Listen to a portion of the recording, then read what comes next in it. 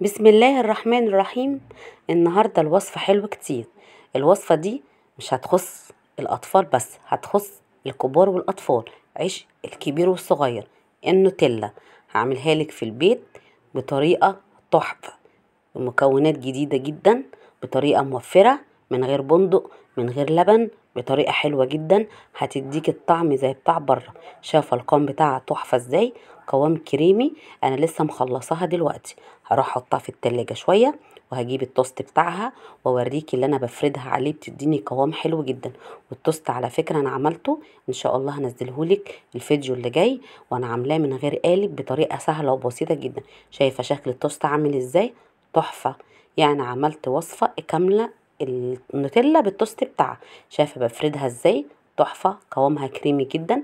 كل ما بتقعد كل ما بتديكي قوام حلو جدا. بأبسط وأسهل طريقة. هتعجبك جدا إن شاء الله.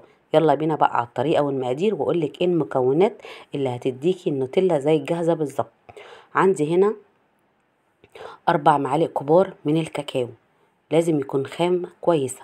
وتلت كوباية زيت وده المكون. لو جربتي تعملي النوتيلا بيه هتعرفي اللي انت جبت طعم بره بالظبط. الحليب المكثف. تحفة يا جماعة. النوتيلا بيه حكاية. وكمان في مكون تاني هضيفهولك وإحنا شغالين. هو ده بقى اللي هيديك الطعم بتاع بره بالظبط. الحليب المكثف ده طريقته سهلة وبسيطة جدا. أنا عملته عندي في القناة. للناس اللي ما شافتهوش. هسيبلك اللينك بتاعه في صندوق الوصف. طريقته سهلة وبسيطة جدا. طبعا هجيب بقى الكبة بتاعتي المحضر الطعام أي حاجة تحطي فيها. أنا حطيته الأول هنا عشان أعرف الكمية اللي عندي دي بالظبط قد إيه.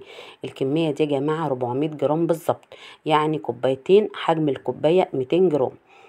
طبعا عندي 400 جرام هحط عليهم أربع معالق كبار من الكاكاو يعني كل كوباية عليها معلقتين كبار وأحط عليهم تلت كوباية زيت يعني 400 جرام من الحليب المكثف عليه أربع معالق كبار من الكاكاو الخام عليهم تلت كوباية زيت. إن شاء الله هكتب لك المقادير في صندوق الوصف بالجرامات.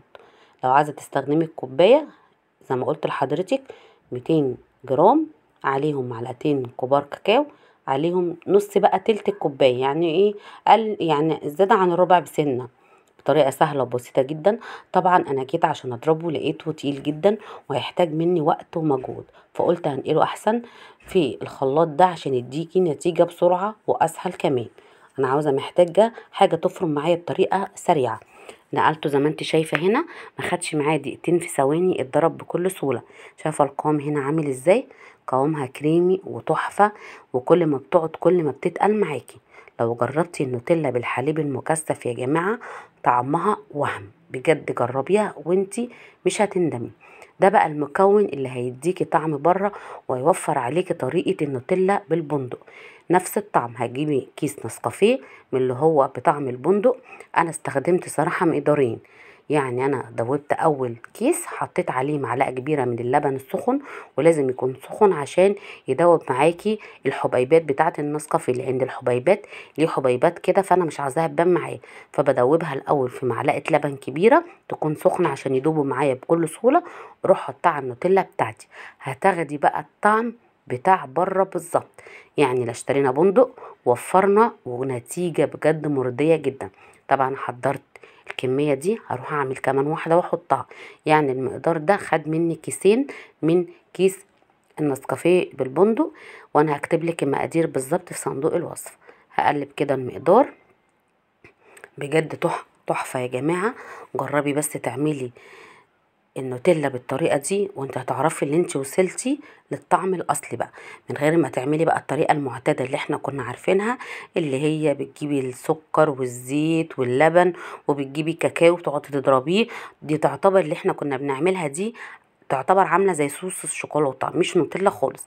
الحليب المكثف قوامه وطعمه بيديكي قوام النوتيلا الأصلي بالظبط. مع كيس بقى البندق يا سلام هتجربي وانت هتعرفي. تحفة بجد. هفضيها بقى في حاجة هجيب البرطمان بتاعي وافضيها فيه. طبعا ده البرطمان بتاعي أنا كنت جايبة فيه النوتيلا. دي يا جماعة النوتيلا الأصلي بيبقى موجود على علبة الغطا بتاع مكتوب اسمها كده. في أنواع كتير بتبقى بدائل بس ما بتبقاش طعمها حلو.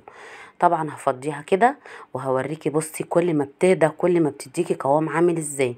بجد تحفة يا جماعة لو جربتيها هفضيها بقى الكمية اللي عندي دي عملت لي البرطمان الحلو ده وكمان عملت لي بولة صغيرة كده يعني وفرنا وعملنا النوتيلا في البيت بمقادير سهلة وبسيطة جدا مكلفتناش أي حاجة ولا خدت مننا وقت ولا مجهود وكمان بأبسط وأسهل مقادير للناس بقى اللي مش عايزة تعمل الحليب المكثف ممكن تجيبيه من بره بس هو غالي جدا. إحنا عملناه قبل كده ومقاديره سهلة وبسيطة. ده بكوباية لبن بودرة مع كوباية سكر بودرة وشوية مية هتعملي يعني برضو طريقة موفرة. يعني الحليب المكثف مش طريقته مش غالية ولا مقاديره كتير ولا حاجة. هتروحي تشوفي الفيديو هتلاقي مقاديره سهلة وبسيطة جدا. هكتب لك إن شاء الله المقادير وهكتب لك كمان ال link بتاع طريقة عمل الحليب المكثف في صندوق الوصف. والناس اللي ما تعرفش صندوق الوصف هتلاقي جنب الفيديو كده في سهم صغير دوسي عليه. هتلاقي أي link بتاع أي فيديو وكمان هتلاقي المقادير وأي ملحوظة أنا نسيتها وأي حاجة نسيت أقولها هتلاقيني كاتباها لك في صندوق الوصف ده. فضيتها بجد كمية وفيرة جدا ما شاء الله. يعني عملنا من المقدار اللي عندي ده كمية قد إيه. لو أنت عاوزة بقى تقسمي النص ممكن تقسمي المقدار. أنا هكتب لك زي ما قلت لحضرتك بالجرامات. بجد ما شاء الله لما دخلت التلاجة ادتني القوام التحفة ده فردتها على التوست حلوة بجد وإن شاء الله لو عجبك التوست ده اكتبي لي في التعليقات وأنا هنزل لك طريقته الفيديو اللي جاي بطريقة سهلة وحتى لو مش عندك القالب بتاعه إزاي اقولك تعمليه وتعملي الشكل الحلو ده. أتمنى منك بقى لو عجبك الفيديو بتاع النهارده يا ريت تعملي like وتعملي لي اشتراك في القناة عشان يوصلك كل جديد واكتبي لي تعليق حلو. وأتمنى منك تعملي مشاركة و share عشان الناس كلها تستفيد وإحنا قلنا هنعمل حاجات للأطفال في البيت بطريقة سهلة وموفرة جدا مش هتكلفك أي حاجة. أتمنى منك زي ما قلت لحضرتك بقى تعملي مشاركة أو تعملي لي شير عشان كله يستفيد. والسلام عليكم ورحمة الله وبركاته في قناتي بسيطة وسهلة.